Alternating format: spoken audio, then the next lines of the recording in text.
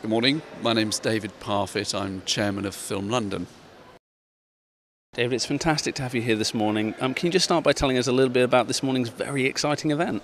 Yeah, well, Film London is 10 years old, so we thought it would be great to get everyone together to uh, talk about our past achievements, which are considerable, and also to talk about the future of Film London over the next 10 years.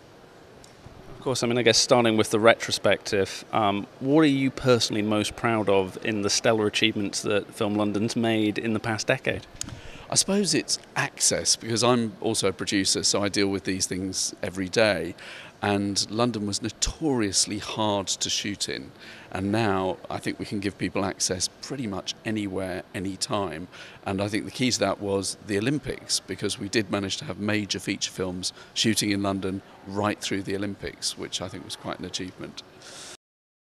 How important do you think it is uh, for London to be a global uh, production hub? Shooting in London is, is incredibly important, but of course, what people don't see is all the companies behind that shooting. Of course, we've got the most incredible visual effects industry in London, and that's something that I'm incredibly proud of and work with all the time. And I think it's that sort of stuff, it's that infrastructure that really uh, makes London a, a booming production hub. There particular productions you could point to over the past decade to illustrate just that wealth of talent? I guess obviously most recently we've had uh, Gravity sweeping all the technical awards at all of the awards uh, ceremonies around the world and very much a British production. I think Gravity obviously is is um, the the poster boy, if you like, for the visual effects industry. It was almost entirely shot here in London, and all the post production was here in London. But now we've got Star Wars Seven uh, bedding in at Pinewood. Again, they're moving in a lot of visual effects talent to deal with that. Um, uh, but I mean, there are things like Fast and Furious shooting through the Olympics. I, th- I thought that was a, a major achievement. And of course, this morning uh, it's not just about looking back, it's about looking towards the future. Um, what are the immediate plans and the long term plans uh, for film in London? Obviously, our long term plan is to continue what we do and do it better. We also have a, a, scheme called Film London Microwave, which is aimed at new filmmakers and it helps them get their first features off the ground.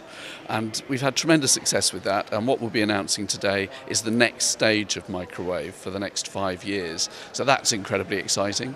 We've got new money coming in for um, actually our audiences in London through the film hubs, which we run here in London too. So, a lot of new money, a lot of exciting things to announce.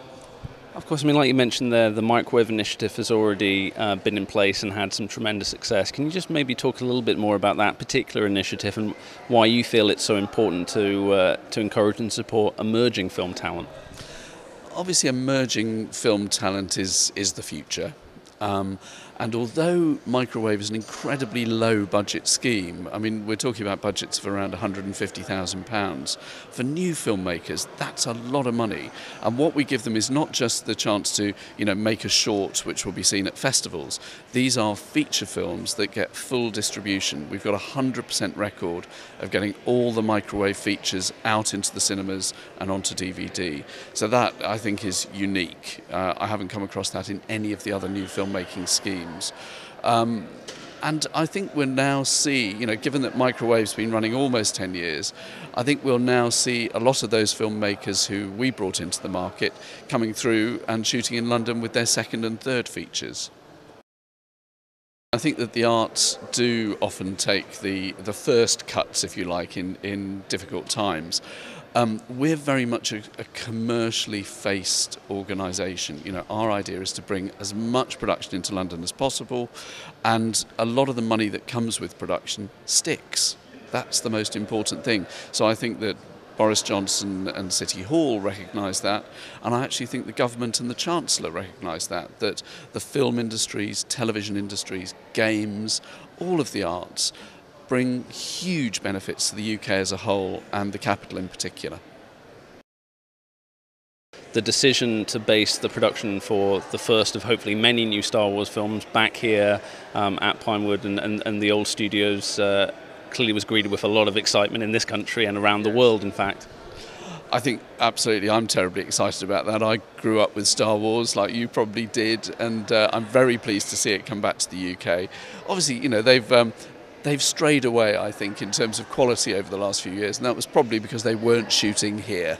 So now that they're back in the UK, I think we can look forward to Star Wars 7 being at least as, uh, as, as great as the early, certainly the first three Star Wars films. And I guess, I mean, my final question um, for audiences who enjoy watching films made uh, using London talent and London as a backdrop, if they want to support London film production more or find out more information about it and sort of the initiatives we're talking about this morning, um, where can they go for that information? What can audiences do to help, I guess? Um, it, information is very easy to find. Filmlondon.org. Just put Film London into Google, you'll find us. Film London Microwave will pop up, so you'll be able to see all the details. If you're a budding filmmaker, that's the place to go. Um, and, and actually support us by going to the cinema. In the end, it's pointless us making films or supporting the making of films if people don't go and see them. Get out to your local cinema.